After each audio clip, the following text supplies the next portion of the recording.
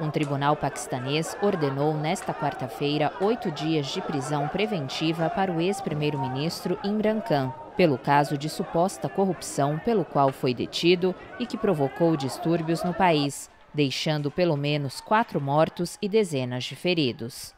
As autoridades concederam ao Escritório Nacional de Responsabilidade a ordem de prisão preventiva de oito dias para o líder opositor, em um caso relacionado com um fundo para educação.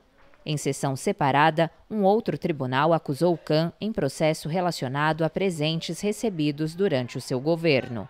A defesa do partido opositor Movimento Paquistanês pela Justiça se opôs à medida de detenção.